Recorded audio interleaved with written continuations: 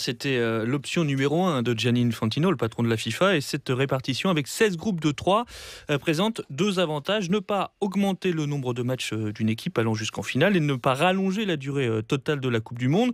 Deux craintes des clubs complètement opposées à l'idée de libérer leurs joueurs plus longtemps et opposées aussi à l'idée d'augmenter, d'alourdir encore le calendrier déjà chargé. Les services administratifs de la FIFA se sont littéralement creusés les méninges et ont réussi à trouver un point d'équilibre.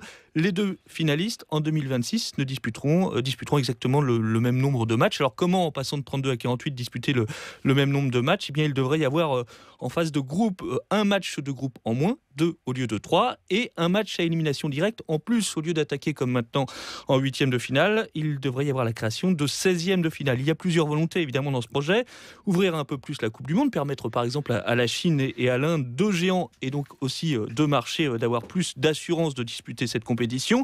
Remercier également, ce n'est pas forcément dit, euh, quelques fédérations euh, qui ont voté pour Gianni Infantino euh, lors de la dernière élection, et puis développer les ressources, évidemment, les droits TV de la compétition, par exemple en 2014 au Brésil, les droits TV ont rapporté un peu plus de 2,3 milliards d'euros à la FIFA plus d'équipes qualifiées, plus d'équipes présentes en phase finale, c'est aussi plus de ressources, plus de droits TV lors de la prochaine Coupe du Monde en 2026.